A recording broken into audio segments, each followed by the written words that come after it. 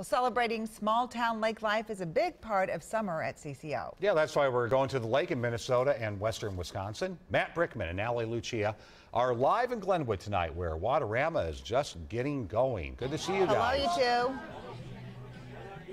Hey guys! Hi, Frank and Amelia. We're having a good time. We are uh, we're pretending that Minnesota State bird is not swirling around us. We've been told the bugs are only in our imagination. Exactly. That's exactly what's going on. And the party really is just getting started here. We are at Lakeside, and it really does have a stunning view of Lake Minnewaska in Glenwood. And did a little dancing earlier. The Jeremy McComb's band is playing Yeah. right now inside. Yeah, and do we want to having a great talk about that? You were uh, tearing up the dance floor with some tall drink of water here.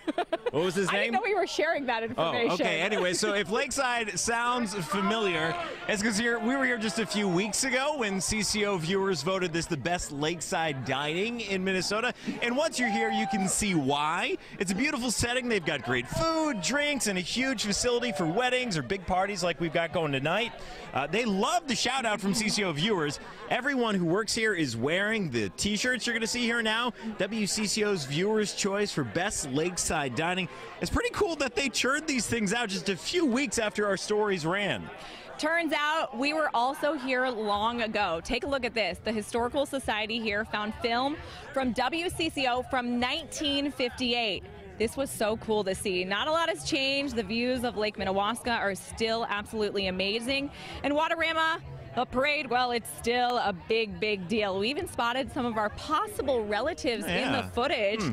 The main parade is this Sunday, but you'll want to stick around for later in the show because when we arrived here, they really did roll out the red carpet mat. We got here at noon and Yeah. I couldn't believe it. They literally threw us a parade. Like we were the only ones in it. It was unbelievable. You'll get to see how we did with our elbow, elbow, wrist, wrist coming up here in just a little bit.